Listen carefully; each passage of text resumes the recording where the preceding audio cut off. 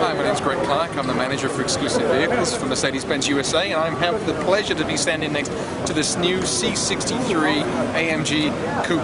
Just world debut just a few minutes ago here at the New York Auto Show, and uh, let me show you a little, little bit about the car.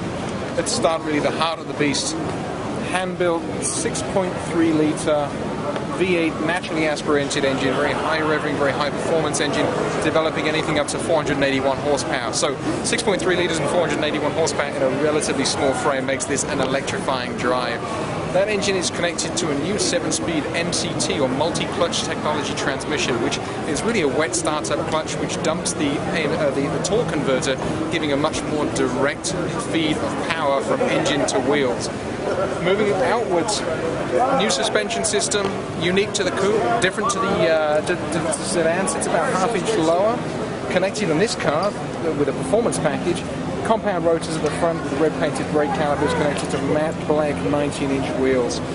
Now, the body, of course, the big story about the C63 AMG Coupe. Look at the coupe really from the B pillar backwards, completely separate, completely unique to this car. Very few shared parts with the sedan. And actually, this is a big year for us because we overhauled the C-Class, which makes it look almost like a new car.